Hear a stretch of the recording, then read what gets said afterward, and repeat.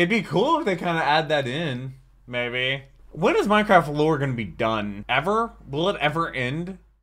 Generic intro the that goes me here back with some more game theory Minecraft videos. Today we're doing the lost cult of Minecraft Illagers where it says cult of fools where it looks like they're trying to summon Hero Herobrine into the nether or something like that. The last video was the scary crimes of the Minecraft Illagers which was a really really interesting theory talking about the woodland mansions and all that stuff and you know how they got banished and whatnot. You check my reaction to that video. I'll leave it right up there. Also link down below in the description and I probably should make a playlist on my channel for the game theory Minecraft lore videos or maybe I should just make a a, game theory playlist in general because I've already gone through all the Five Nights at Freddy stuff and I do a little random ones here and there but now we're doing the Minecraft lores and I'm not sure what we're gonna do after this because there's only 24 of the Minecraft ones but I've enjoyed this so so much as someone that's played Minecraft for over 13 years now and I stream it every single Monday as well as you can always stop by for that but we're learning about the Illagers uh, these series have been certainly interesting and Minecraft is way darker than I thought it would be. Shout out to the patrons because they get the videos there early and allow me to have a paywall channel. Could not do this if it was not for them. $3 a month get you all my reaction videos a day early. Could not do this if it was not for them. I do read our comments whether you're a patron or not, whether you're subscribed or not. So definitely leave some comments down below and or subscribe. I would greatly appreciate that as we just hit 90,000 like literally today. And uh, we're making that approach for 100,000 subscribers, which is a crazy milestone. But let's go ahead and jump into the Lost Cult of Minecraft Illagers. It also has 6.9 million views, so nice. Uh-huh. Interesting. Mmm. Huh. Also, apparently, little like fairy things weren't added okay, to the game yet. These guys don't have some sort of secret language like the Endermen. Stolen. In fact, I'm pretty sure they're just idiots. Yep, they definitely are. Calorie-free episode. Hello, Internet, what? and welcome to a diet theory. Huh? And unlike all the other theories that have claimed their diet theories, this time I really mean it. I Is am it not short? joking around. These mini theories, theories, were originally meant to be oh. a smaller episode exploring new fun angles on recent topics that didn't fit into the main theory, and yet but every time I try to write one of these going. things, every time he just they keeps always going. wind up too long. Not this time, my friends. I swear, today we are not going to go past page two or like the 10 minute mark, even though uh, the outline for this episode is currently at four pages. Curse my verbosity! Today I well, want to I dig mean, a little bit deeper into the intro topic adds began to it. covering in our last Minecraft video. In that episode, we concluded that the Illagers were exiled from the villager civilizations because they were experimenting with the powers and of life and death. And we know that looked to like some extent they've been successful. Does he have a video on Herobrine? Herobrine? carry totems of undying, items that literally grant new life at the point of death. Now they live on the outskirts of society in the woodland mansions, and are very aggressive continuing their to- experiments, converting villagers into Yes. ravagers, and using huge stockpiles of blue, light blue, and cyan wool to construct replicas of Steve. At the end of my last theory, I hypothesized that perhaps Which those Steve clones may have inadvertently theory. led to the creation of the game's zombie menace. But that still left us with a lot of questions unanswered. What's the deal with the fake end portal rooms that you can also find in the Woodland don't Mansions? know. And why are there these giant replicas of cats and chickens hidden I- inside those that just buildings? seems I mean, completely those are some weird details that I made a big to-do about in the last episode that I didn't actually have the chance to explain away. And then there's the issues with the Vindicators themselves. Why are their eyes blue? We established last time that they're former villagers, and we know that every Is it the other villager in the game has themselves It green eyes, including other Illager types like the Evoker. So then, why are the Vindicators' eyes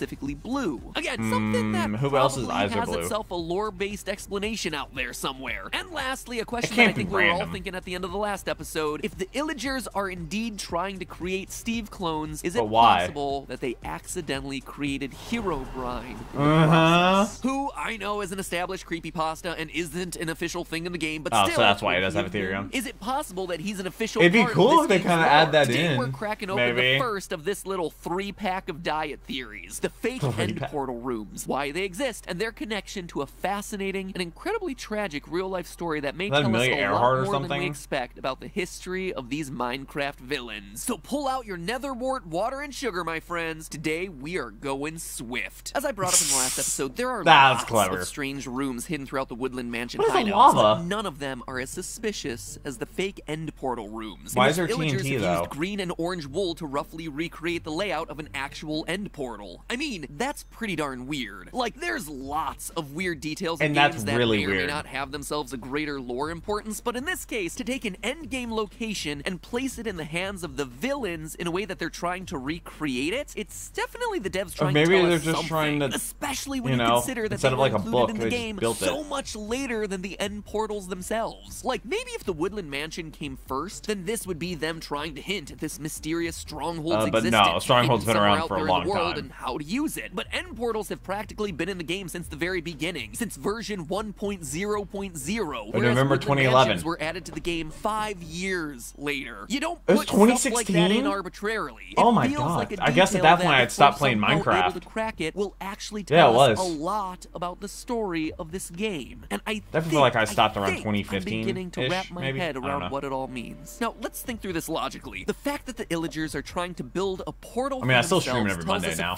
Important details. One, Illagers have somehow managed to see a stronghold at some point, already an impressive feat. And two, not only did they see a stronghold, they somehow were able to understand that it was important enough to want to try and recreate it for themselves. Now, But how are they planning to didn't do that with talk too much about last time was the whole wool thing. I've already wool mentioned magical? using green and orange wool for their fake Or maybe that's all they had. that would be interesting on its own, but that's not the only instance of unusual wool usage inside the mansions. For one, none of the beds in the mansion actual beds. real beds, despite real beds having existed for years before the implementation of Woodland Wow, I started playing Instead Minecraft when- right when beds, beds villagers started. I to started playing March recreate what a 2011. bed looks like by using white wool and various colors of carpet. Talk about itchy and like zero back support. It's no wonder the Illagers are always so cranky. Illagers That makes also sense, yeah. have themselves map rooms, which once again don't use crafted maps, but use carpet on a table to create the illusion of a map. Maybe they All of can see it. Maybe they're a bunch of hippies real-world and, like, they can cargo see. culting. You see, cargo cults are an absolutely fascinating phenomenon that actually happened in the aftermath of World War II. I have not heard of this. You live on a tiny, remote island in the middle of the ocean with just your fellow tribesmen, completely secluded from the rest of the world. And then all of a Uh. sudden, giant metal birds appear out of the sky, Metal birds. making loud roaring noises. The birds come to a stop on your island, and out of them step humans. People that look like you, but different. Different skin tones. And different also hair colors. Clothes. And they come bringing things that you never could have imagined. Pills that save lives, clothes in bright colors and new materials, food in metal containers, objects that can take Okay, down what the islands did they do this with just to? the push of a button. Machines that travel fast and never Who get brought a tired. tank? Sometimes they bring all these things in their flying birds. Are they trying to basically, like, claim the territory? The island. While they're there, these visitors take time to build things. They clear long strips of land where their birds come and go. They put up these tall towers where they can be Uh. closer to the heavens and where they talk to themselves all day while wearing these strange ear coverings. They erect tents and shelters where they live. And then Uh, after a year or two of these it's a military visitors base. coming and going, suddenly the birds stop landing. Everything that came with them goes away. They were like gods, and you, I not guess- fully understanding what brought them there in the first place, try everything to get them to come back. This is exactly Huh? what happened to the small populations of indigenous people Why on the they Melanesian disappear? islands of the South Pacific during World War II. During. Islands like That Vanuatu. Fiji, New Guinea, and the Solomon Islands. Here they were, societies completely removed from Dude, the rest of the world, Fiji. existing in their own self-contained bubbles when all of a sudden Japanese troops land on the island with ships and planes, carrying Huh.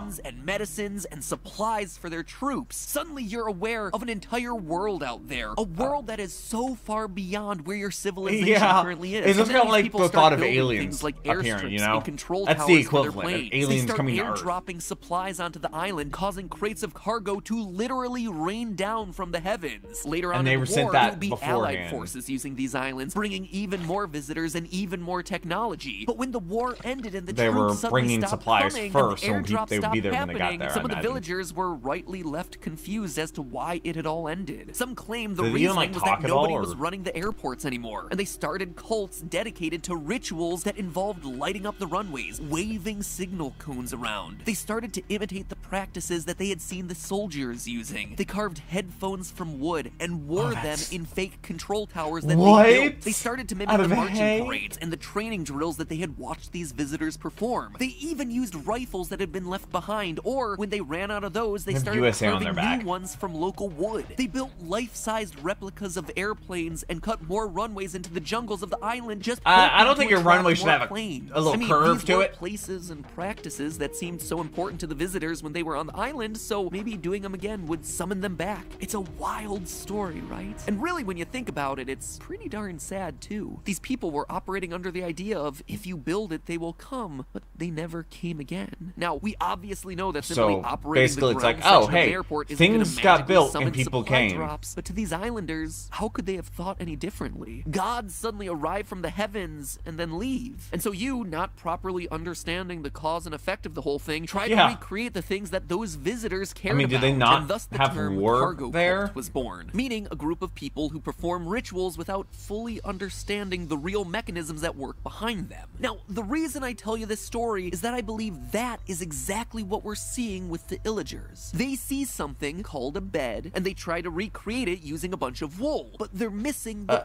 point and about Uh, the crafting. planks. They're missing It's the just like ability to islanders sitting in craft. fake radio towers with wooden headphones. On the surface, they look the same. It is Do- do they? in reality, I don't know. Those two different. things look the It's same. I mean, the bed does look the carpet same. maps, and it's especially true of their fake end portals. Anyone who's actually been to the end knows that you need to insert Eyes of Ender into the end portal Also, frame blocks. the and lava the is presence gone. of the lava doesn't really matter. Oh, I thought it had to But have the lava. Illagers, though, they seem convinced that all that was really important in that stronghold was the color, the number, and the arrangement of the blocks. This is especially true since they have access to lava in other rooms of the mansion, but they don't choose to use it in their recreation That- of the end. I mean, they also I mean, lock even it the giant up. cat and chicken rooms in the woodland mansions seem tied to the cargo cult story. Just like the You villagers of Melanesia built replicas to the giant metal birds that came onto their island, the airplanes, so too are the Illagers building replicas of these animals, I guess. I, I don't really know. I don't said know why- I don't know why they bring diet theory cats, that maybe to for recreate creepers? a portal room, the Illagers had to have first seen a stronghold and secondly had to understand How would they have that it was been taken to a stronghold, important. though? Maybe it's on a all book? This is telling us is know. that they must have seen an active end portal. It most likely indicates that they saw something go into, or more accurately, come out of that end portal. I think that this may be our strongest evidence yet that the ancient race of builders that we've been talking about throughout all of these Minecraft theories, the one Uh. that built the ancient temples and mine shafts of the overworld, that maybe they originated on the other side of one of those portals. They pop on through into the villager and illager world and bring When is Minecraft lore gonna be done?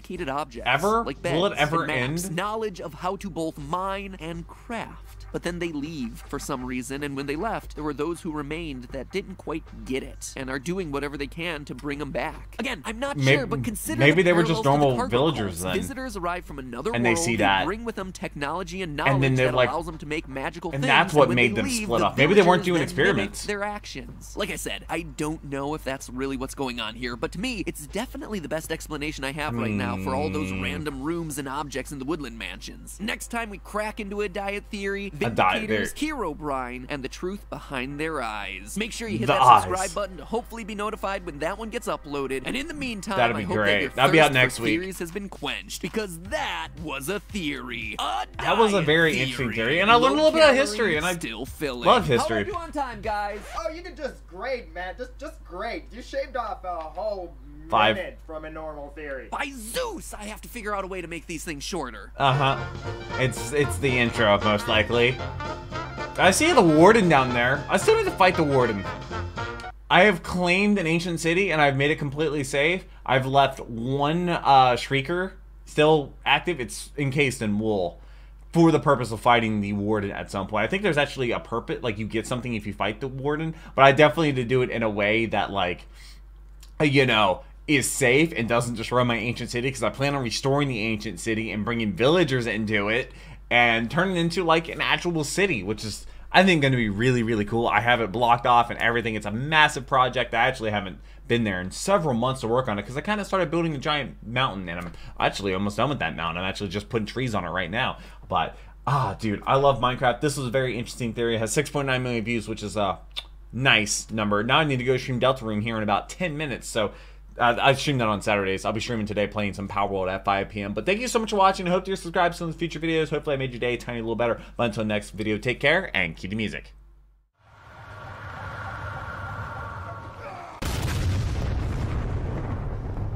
We were playing.